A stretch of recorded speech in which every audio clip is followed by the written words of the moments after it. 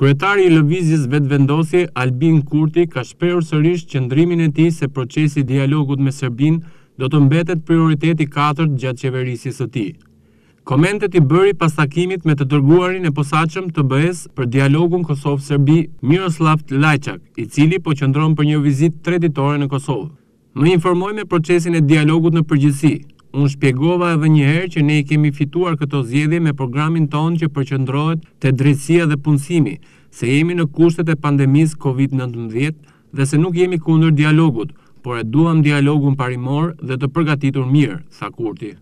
Ai ka mohuar të ketë diskutuar për çështjen e hartës së BE-së, e cila e shfaq Kosovën si pjesë të Serbisë, teksa ka lënë të nënkuptohet se dialogu vazhdon të jetë prioritet i katërt i qeverisjes së tij.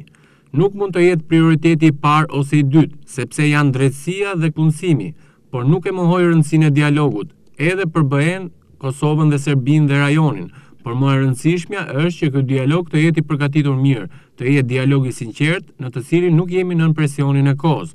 por jemi me përkushtimin për substancë, tha Kurti.